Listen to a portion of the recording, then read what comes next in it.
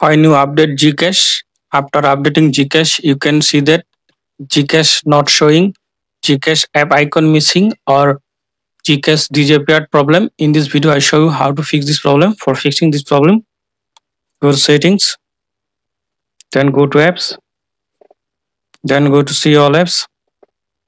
Now tap on three dot now tap on reset app preference now tap on reset apps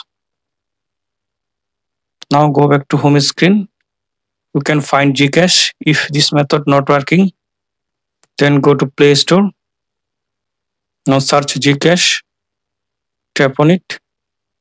Tap on uninstall.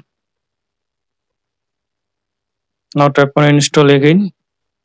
If you uninstall GCash you have to verification again.